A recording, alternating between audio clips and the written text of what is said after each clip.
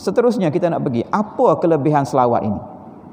Yang kita duduk selawat ini. Yang kita kata salah satu cara untuk kita timbulkan kasih cinta. Nak tunjukkan kasih sayang kita kepada Rasulullah. Kita kena selawat. Itu salah satunya kita. Tetapi Allah subhanahu wa ta'ala ini maha pemurah. Kita berselawat nak tunjukkan kasih kita kepada Rasulullah. Tetapi Allah subhanahu wa ta'ala sediakan di sebalik ibadat selawat ini.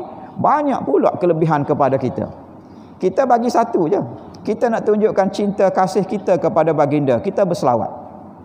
Tetapi Allah Subhanahu Wa Taala balas balik kepada kita fadilat-fadilat kelebihan-kelebihan yang tak terkira banyaknya.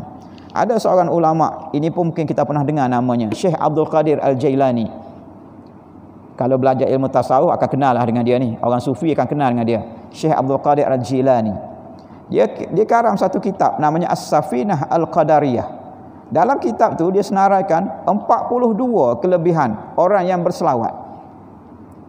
Kita selawat nak tunjuk cinta kita, kasih kita kepada Rasul. Tetapi Allah balas balik. Kalau mengikut Abdul Qadir Jalani ini, 42 Allah balas balik. Kita bagi satu, Allah bagi 42 kepada kita. Dan apa antara kelebihan-kelebihan selawat ini? Yang pertama, ganjaran besar daripada Allah Subhanahu wa taala. Ini hadis sahih riwayat Imam Muslim. Hadis ini selalu kita dengar terutamanya pada hari Jumaat. Man salla alayya salatan Man salla alayya wahidah sallallahu alaihi biha asyara. Sesiapa yang berselawat kepadaku sekali, Allah Subhanahu wa taala akan berselawat kepadanya 10 kali.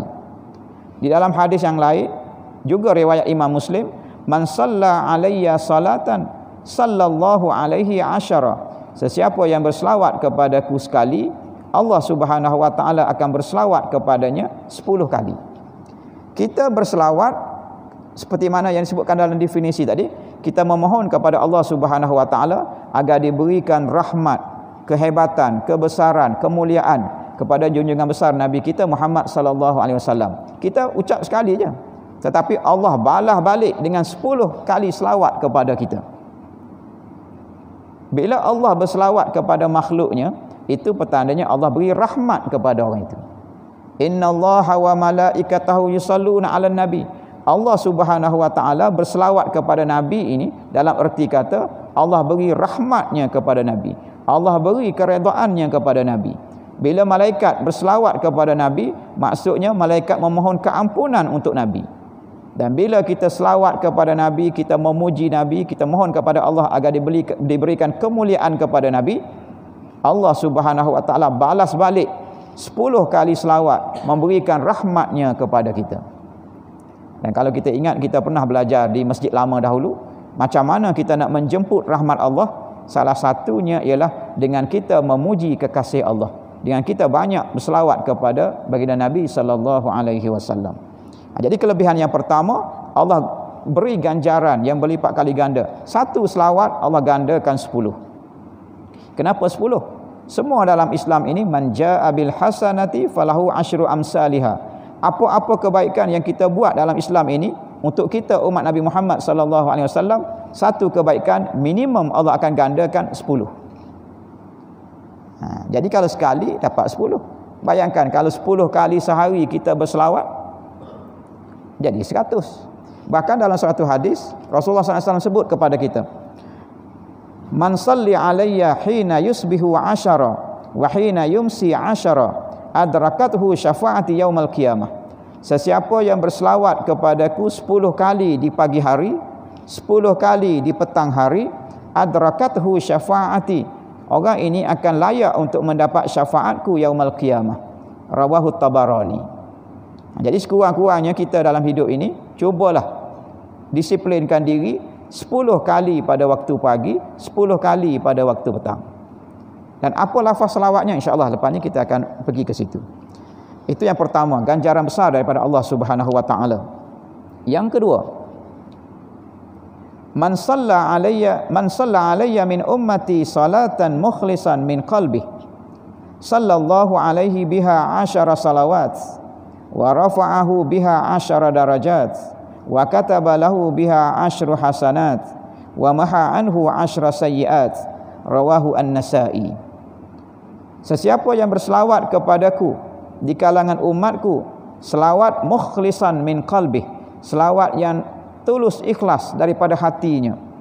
Sallallahu alaihi biha asyara salawat.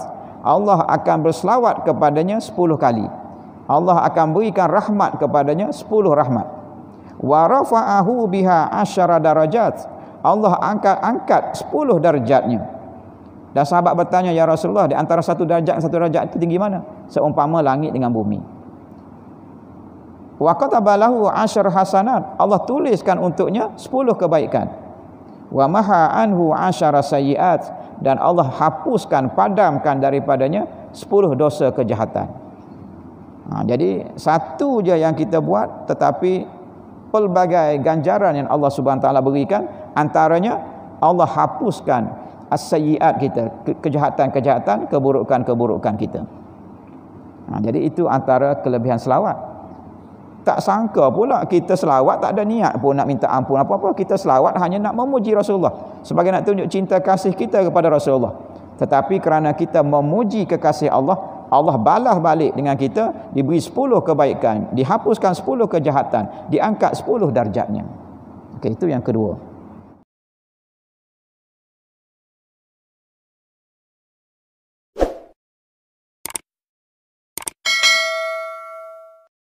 Bismillahirrahmanirrahim.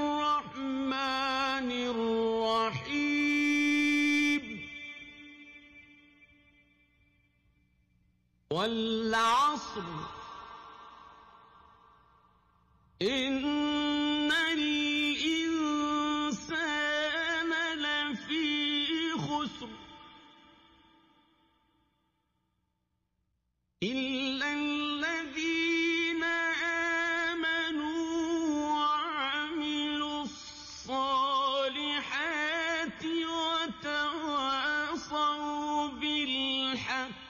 وتواصوا